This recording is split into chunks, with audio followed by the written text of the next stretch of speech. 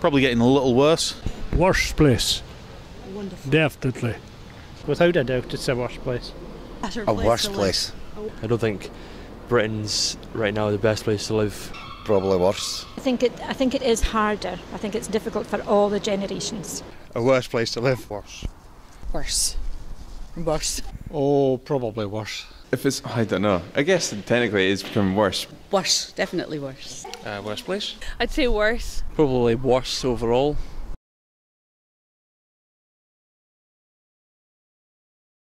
Globally, the root problem is related to greed. And I think a lot of the conflicts around the world are nothing to do with politics, nothing to do with territory. I think it's to do with greed and money. Lack of discipline in Okay. young folk. Too much stress.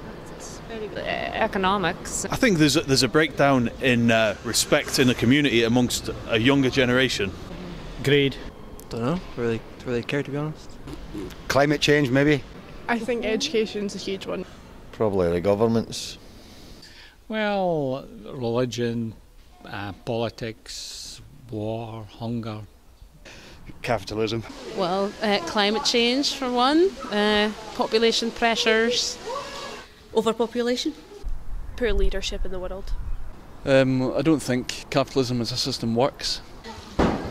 Lack of opportunities, jobs. I think selfishness is a def- is definitely a big problem. I think everyone is looking out for well, not everyone. I think the majority of people are looking out for number one, uh, and if people can get past that, then you would start to see some problems solved.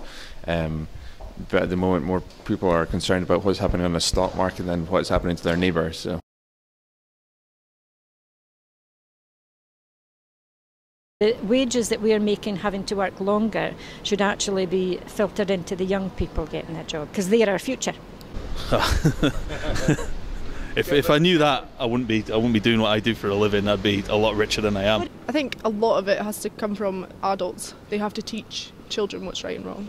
I think you really need to start educating children from right from the very age. No, it comes back to education, and it comes back to to the families. Um, I don't know. I really don't know what the solution is.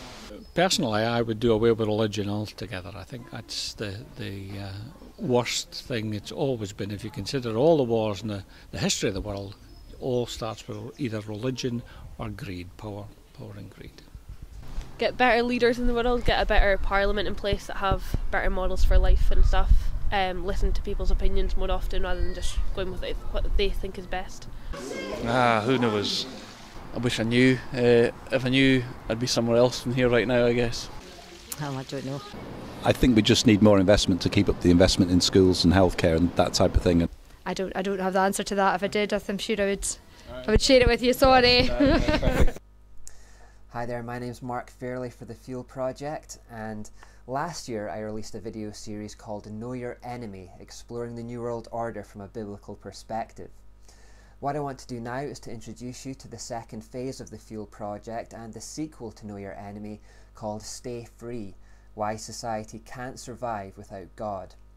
In this series, we're going to continue looking at uh, why our world is on the decline, but we're also going to start looking at the solutions to the problem. We're going to start looking at what our attitude should be in the dark days ahead, because undoubtedly we're about to go into some very difficult times, particularly for Christians.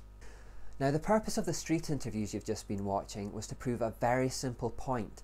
That is, that while the average man on the street can see that there's something going wrong with society, there's no general consensus at all on what the root of the problem is or how we put things right. There was no one answer that came up above all the rest. Some people said teachers or parents or children or overpopulation or even climate change on a couple of occasions. So, what I want to do in this series is to provide a definitive solution for our problems. I want to show exactly what went wrong and exactly how we can put things right. Stay Free is now available as an ebook for immediate download from Amazon.com and also from national Amazon websites. If you're not sure how to get there, all you have to do is look underneath this video where a link has been provided. I can now also point you towards thefuelproject.org where we hope to have a website up and running very shortly. And as always, if you'd like to get involved in discussions or ask questions, all you have to do is go to facebook.com forward slash the fuel project.